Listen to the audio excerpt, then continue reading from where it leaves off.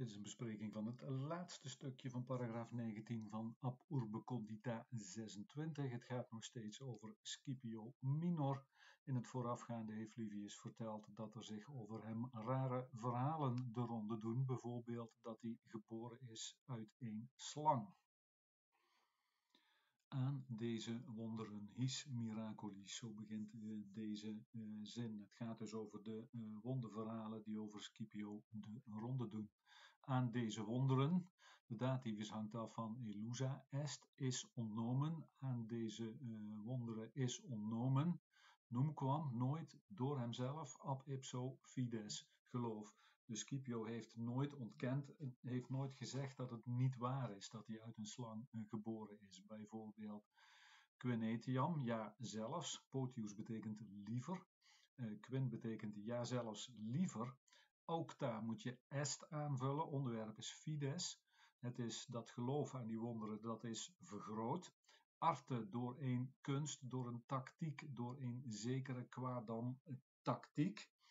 En wat is dan de inhoud van die tactiek? Dat staat erachter om niet uh, abnuendi, van het uh, niet ontkennen, dergelijk iets, van een dergelijk iets, uh, een tactiek om in dergelijk iets, een tale kwam niet te ontkennen, maar ook niet openlijk te bevestigen. Dus Scipio zegt niet dat het niet waar is, maar hij zegt ook niet dat het wel waar is multa alia vele andere dingen van dezelfde soort, van dezelfde aard.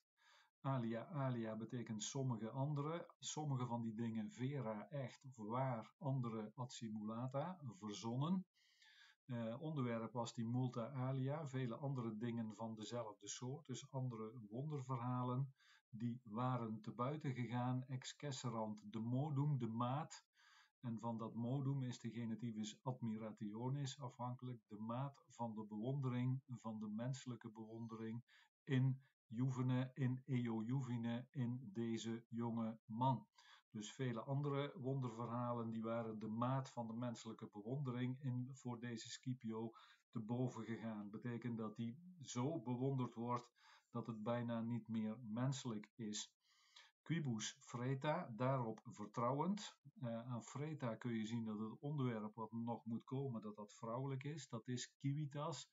Daarop vertrouwend toen de burgerij, dus de volksvergadering. Livius komt nu toe aan het begin van dit verhaal. Dit is een, een ringcompositie. Scipio was door de volksvergadering belast met het opperbevel in Spanje.